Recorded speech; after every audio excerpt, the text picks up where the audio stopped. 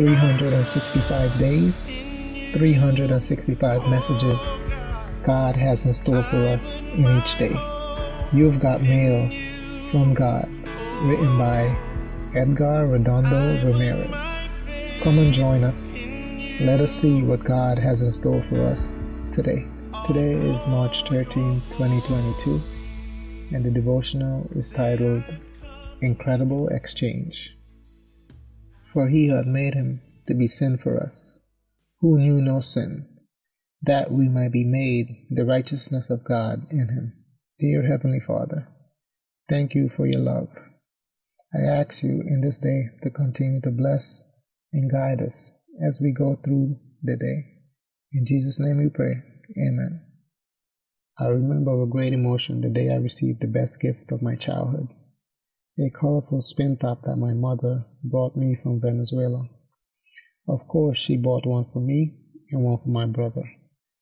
It was a spectacular toy because you could make it spin on the ground or in the air while you held onto the cord that came with it. Those tops soon became the sensation of the neighborhood. All the children on our block came to see them spin. They danced harmoniously and silently.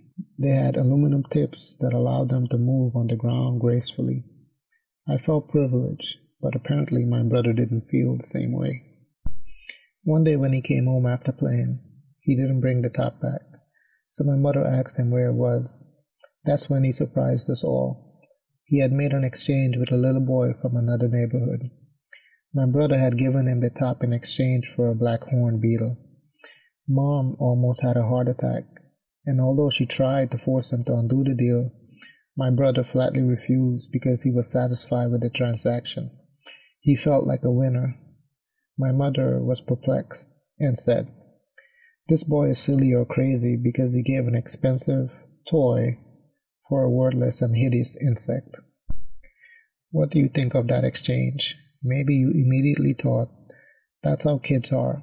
They don't know the value of things.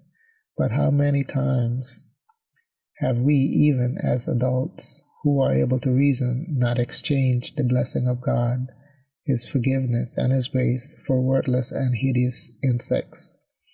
Perhaps in your case, it is the insect of insecurity, or the insect of impure thought, or the insect of doubt.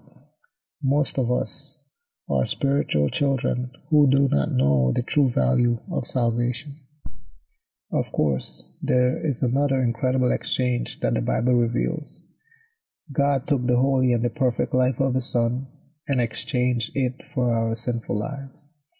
This exchange is the product of divine love towards the human race.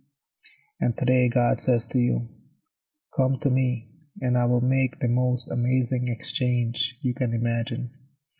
I will exchange your fear for faith, your sin for forgiveness, and your insecurity for hope. It is the best exchange. Amen.